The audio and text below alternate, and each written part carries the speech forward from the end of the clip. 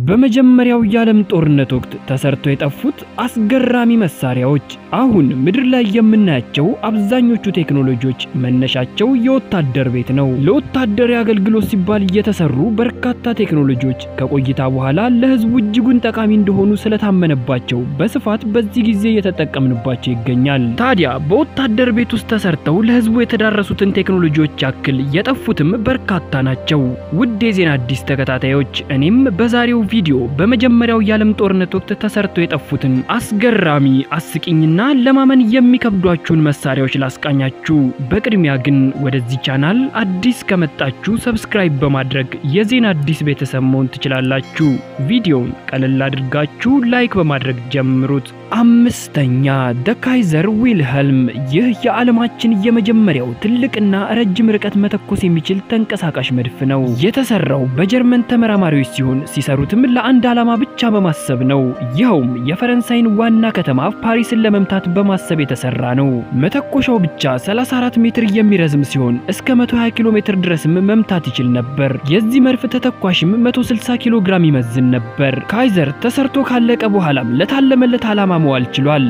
ይኸውም 120 ኪሎ ሜትር በመተኮስ ፓሪስን መምታት ችሏል። በወቅቱም የዚህ አይነት መሳሪያ ያልተለመደ በመሆኑ የፓሪስ ከተማ ነዋሪዎች ከተማዋን ለቀው ወጥተው ነበር። ነገር ግን ይህ መሳሪያ ለረጅም ጊዜ በጦርነት ውስጥ መቆየት አልቻለም። ካለው ግዝፈት አንጻር እሱን ማጓጓዝና ተተኳሾቹን ማንቀሳቀስ እጅጉን ከባድና የማይሆን በመሆኑ በበርካታ ጦርነቶች ላይ ጥቅም ላይ መዋል አልቻለም። በተጨማሪም ከጥቂት ተተኳሾች ውጪ መተኮስ የማይችልና ቶሎ ቶሎ የሚበላሽ በመሆኑ ሙሉ በሙሉ ከገበያ ሊወጣ ችሏል። አራተኛ Mark One tank በመጀመሪያው የዓለም ጦርነት ወቅት በ1916 የእንግሊዝ ጦር ያስተዋወቀውና ይጠቀምበት የነበረው አስገራሚ ታንክ ነው። ይህ ታንክ ለዓለማችን የመጀመሪያው ታንክ የነበረ ሲሆን በወቅቱ እንግሊዞች ከባድ መሳሪያ የታጠቁ መኪኖችን እንዲዋጋላቸው የገነቡት ታንክ ነው። ይህንን ታንክ እንግሊዞች ካስተዋወቁ በኋላም ጀርመን፣ ጃፓን፣ ሩሲያና ፈረንሳይ በስፋት ይጠቀሙበት ነበር። ታንኩን እንደምትመለከቱት ለየት ያለ ገጽታን እየተላበሰ ሲሆን 9 ሜትር ርዝማኔና የ4 ሜትር ስፋትም አለው። በውስጡ 8 ሰዎችን መያዝ የሚችል ሲሆን 105 የፈረስ ጉልበት የሚሆን ሞተርም ተገጥሞለታል። በአጠቃላይም በሰዓት 6 ኪሎ ሜትር ብቻ ይጓዛል። ይህ ታንክ በሁለት ሞዴል የመጣ ሲሆን male and female ብለው ከፍለውታል። Mark One በጦርነት ወቅት ትልቅ ተጽዕኖን የፈጠረ ሲሆን የእንግሊዝ ጦር በቀላሉ የጠላትን ቀጠና ደርማምሶ እንዲያልፍ አስችሏል። ነገር ግን ታንኩ ብዙም ሳይቆይ ከገበያ እንዲወጣ ተደርጓል። ምክንያቱም Mark One እጅጉን ቀርፋፋና ነዳጅ አጠቃቀሙም የተጋነነ ከመሆኑ በላይ ታንኩን የሚያንቀሳቅሱት ሰዎች Mark One ካለው ከፍተኛ ድምፅ የተነሳ መሰማማት አይችሉም። ውስጡም ከሞተሩና ከተተኳሽ በሚወጣ ጭስ እየተሞላ ስለሆነ አሽከርካሪዎቹ ለከፍተኛ ሕመም ይጋለጡ ነበር። በዚህና በሌሎች ምክንያት Mark One ከገበያ እንዲወጣ ተደርጓል። ሶስተኛ ዜፕሊንግ airship። ይህንን ግዙፍ በራሪ ነገር ብዙዎቻችሁ በፊልም ላይ እንዳያችሁት አልጠራጠርም። ታዲያ በርካቶች ይህ ነገር ፊልም ላይ እንጂ እውን ምድር ላይ የነበረ ቴክኖሎጂ እንደሆነ አይገምቱም። ነገር ግን ዜፕሊንግ ገና በ1874 ዓመተ ምህረት በጃፓኑ እውቅ ተመራማሪ ፈርዲናንድ ዜፕሊንግ የተሰራ ነበር። ታዲያ ይህ በራሪ መጓጓዣ በጀርመን ስራውን ከጀመረ በኋላ ቀስ በቀስ በሀገር አሜሪካና በሌሎች ሀገራት በመስፋፋት አገልግሎት ይሰጥ ነበር። በአንደኛ ኛው የዓለም ጦርነት ወቅት ደግሞ ይህ ዜፕሊንግ የተባለ ቴክኖሎጂ ወታደሮችንና ሎጂስቲክን በማመላለስ ትልቁን ሚና ተወጥቷል። ጀርመኖች ይህንን ቴክኖሎጂ በመጠቀም ከ1500 የሚበልጡ በረራዎችን በማድረግ ወታደሮቻቸውን አመላልሰውበታል። ከእንግሊዝ ጋር በነበራቸው ጦርነት ደግሞ ጀርመኖች ዜፕሊንግን እንደ ቦምብ ጣይ አውሮፕላንም ተጠቅመውበታል። ከ500 የሚበልጡ የእንግሊዝ ወታደሮችንም ማጥፋት ችለዋል። ታዲያ ይህ ግዙፍ ተንሳፋፊ አውሮፕላን ጀርመን ጦርነቱን በ1918 በመሸነፏ ምክንያት ምርቱ ቆሞ በዓለም ላይ የነበረው መስፋፋት ተገትቷል።